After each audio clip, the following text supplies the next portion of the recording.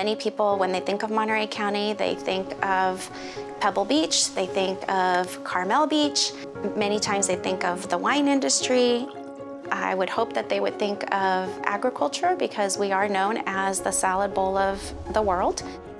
We have individuals with lots of money that have summer homes, and we have families with very low incomes, yet are feeding the world in terms of produce.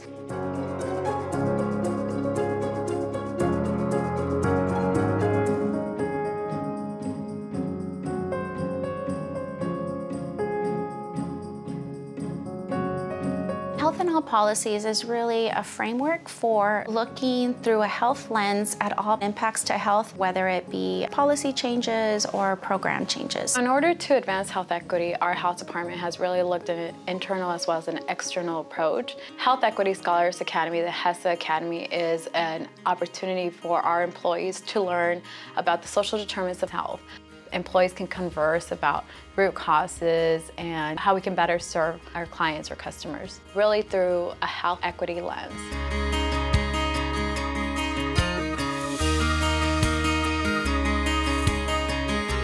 In 2014, five cities got together with the health department and applied for the $4.6 million grant to work on infrastructure in our community.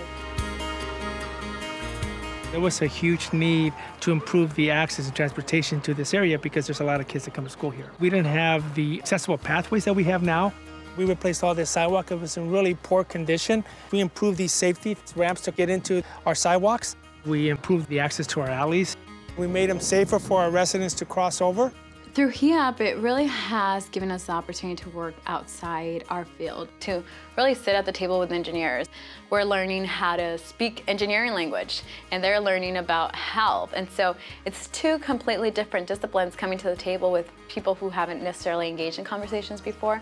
We are helping our community tap into the potential of thinking big and achieving big.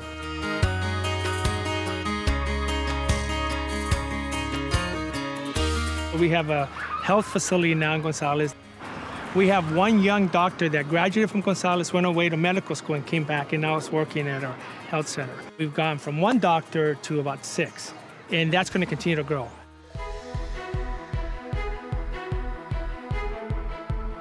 We also partner with community residents as well through some of our programs, in particular one Enlace, which is a civic engagement leadership academy available to residents all over the county. Really what Enlace does is helps residents build knowledge about how the city's budgeting processes work, who the systems leaders are, so that they really understand the process and know how decisions are made in their communities. Participamos en el programa Enlace, donde hay uh, donde se nos habló de diferentes temas de salud, nutrición, de cómo saber uh, distribuir uh, fondos del gobierno que, que a veces pues no sabemos por falta de información.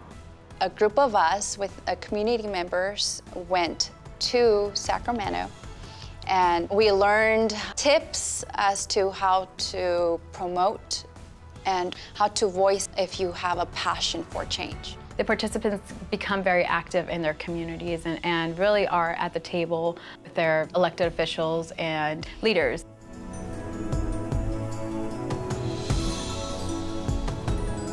Monterey County still has anywhere between uh, 30 and 60,000 residents that are not able to have health care coverage because of their documentation status. Through um, a pilot project, our Board of Supervisors allocated half a million dollars of general fund to be able to get individuals into primary uh, prevention services so that we can help individuals practice healthier lifestyles and have the necessary care that they need.